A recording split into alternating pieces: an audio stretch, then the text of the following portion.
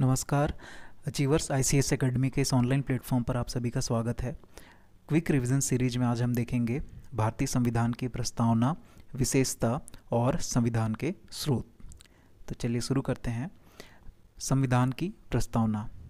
इसमें लिखा गया है, हम भारत के लोग, भारत को एक संपूर्ण प्रभुत्व संपन्न, समाजवादी पंथ निरपेक्ष लोकतंत्रात्मक गणराज्य बनाने के लिए तथा उसके समस्त नागरिकों को सामाजिक, आर्थिक, राजनैतिक, न्याय, विचार, अभिव्यक्ति, विश्वास, धर्म और उपासना की स्वतंत्रता, प्रतिष्ठा और अवसर की समानता प्राप्त करने के लिए तथा उन सब में व्यक्ति की गरिमा और राष्ट्र की अखंडता सुनिश्चित करने वाली बंधुता बढ़ाने के लिए दृढ़ संकल्पित होकर आज तारीख 26 नवंबर उन्नीस सौ उनचास को एतद द्वारा इस संविधान को अंगीकृत, अधिनियमित और आत्मर्पित करते हैं।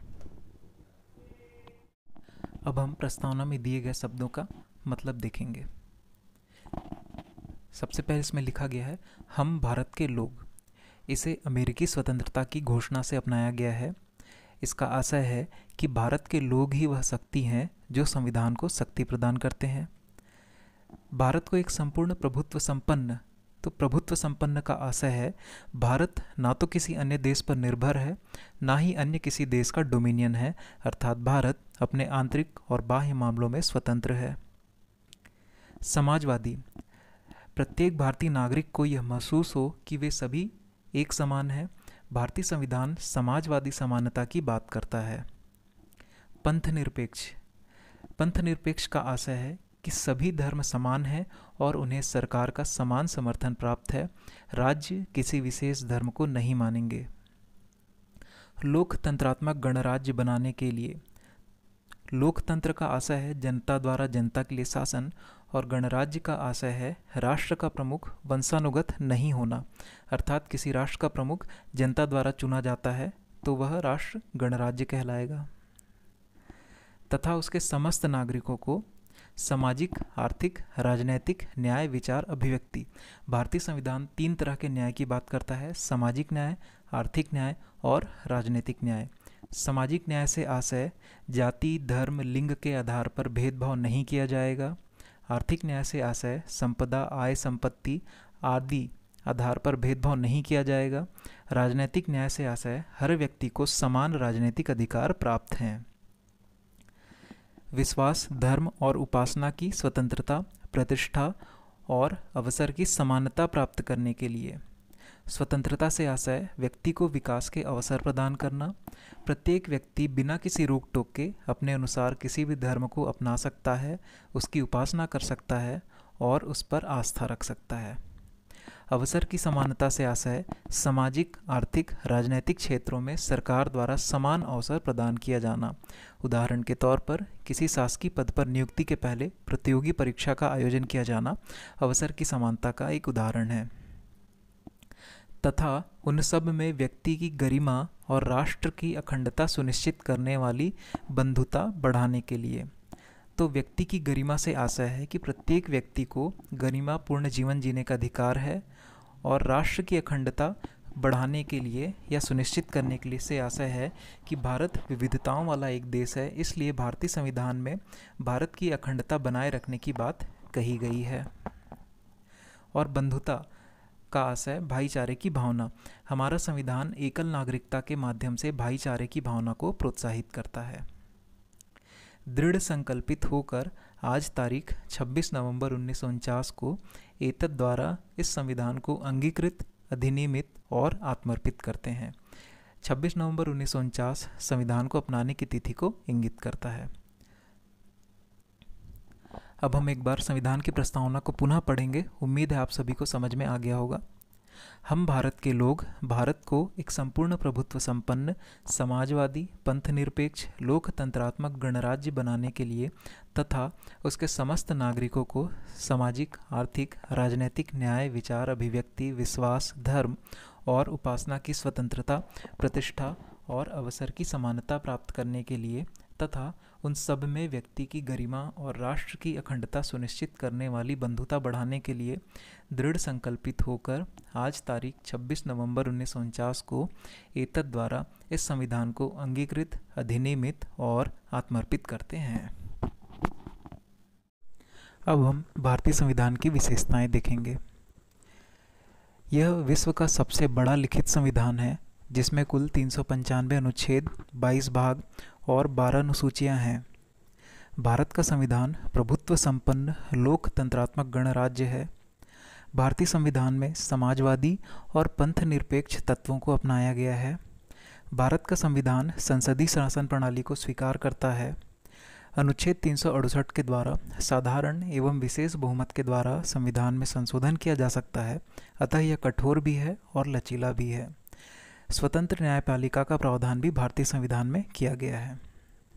भारत का संविधान नागरिकों को मूलभूत अधिकार प्रदान करता है, साथ ही साथ नागरिकों को कुछ मूल कर्तव्य भी निर्धारित करता है। भारत का संविधान नीति निर्देशक तत्वों को शामिल करता है, जिससे लोक कल्याणकारी राज्य की स्थापना की जा सकती है।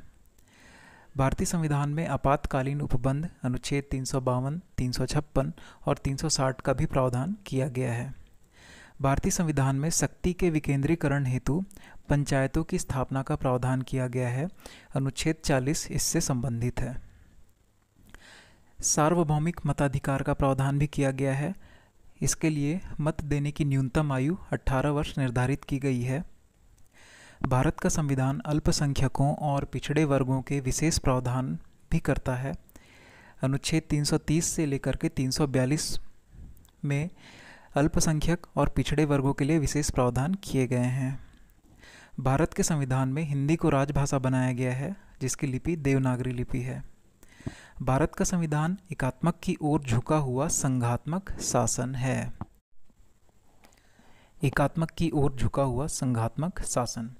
अनुच्छेद एक के अनुसार भारत राज्यों का एक संघ है और संघात्मक तत्व के अंतर्गत दो सरकार संविधान की सर्वोच्चता, लिखित संविधान, केंद्र और राज्यों के बीच शक्तियों का बंटवारा, स्वतंत्र न्यायपालिका और द्विसदनी व्यवस्था को शामिल किया गया है, जबकि एकात्मक तत्व के अंतर्गत एक सशक्त केंद्र, एक संविधान, एकल नागरिकता और एकल न्यायपालिका का प्रावधान किया गया है।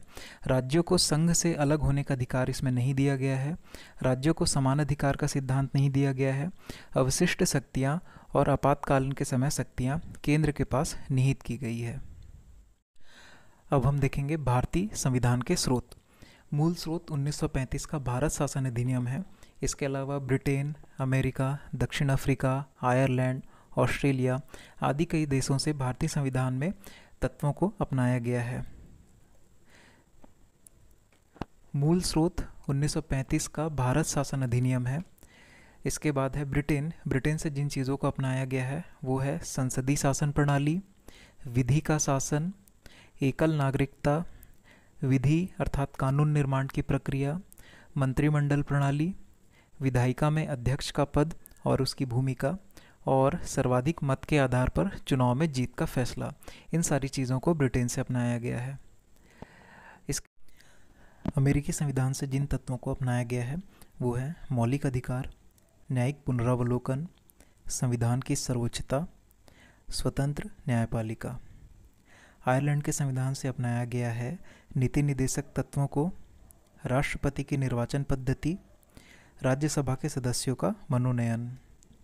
कनाडा से अपनाया गया है संघात्मक शासन व्यवस्था, अवशिष्ट शक्तियों का सिद्धांत, संघ और राज्यों के बीच शक्तियों का विभाजन। ऑस्ट्रेलिया से अपनाया गया है संवर्ती सूची को और संसदीय विशेषाधिकार। जापान से अपनाया गया है विधि द्वारा स्थापित प्रक्रिया अनुच्छेद इक्कीस की शब्दावली। रूस से अपनाया गया है मौलिक कर्तव्य को। दक्षिण अफ्रीका दक्षिण अफ्रीका से अपनाया गया है संविधान में संशोधन की प्रक्रिया अनुच्छेद तीन सौ अड़सठ के द्वारा भारतीय संविधान में संशोधन किया जा सकता है और राज्यसभा सदस्यों का निर्वाचन। ये दोनों चीज़ें दक्षिण अफ्रीका से अपनाई गई है। जर्मनी से आपातकालीन उपबंधों को अपनाया गया है। फ्रांस से स्वतंत्रता, समानता और बंधुत्व के आदर्श को अपनाया गया है और गणतंत्र व्यवस्था को अपनाया गया है। इस प्रकार भारतीय संविधान के स्रोत यहाँ पर समाप्त हो जाते हैं। अब हम कुछ प्रमुख तथ्यों को देखेंगे। बयालीसवें संविधान संशोधन 1976 के द्वारा प्रस्तावना में समाजवादी पंथ निरपेक्ष और अखंडता शब्द जोड़े गए केशवानंद भारती उन्नीस सौ तिहत्तर में सर्वोच्च न्यायालय ने प्रस्तावना को संविधान का अभिन्न अंग बताया और प्रस्तावना को संविधान का मूल ढांचा माना। प्रस्तावना को न्यायालय में प्रवर्तित नहीं किया जा सकता है। तो इस प्रकार आज का हमारा ये लेक्चर यहीं पर समाप्त होता है। अगले लेक्चर के लिए बने रहें और चैनल को सब्सक्राइब ज़रूर करें।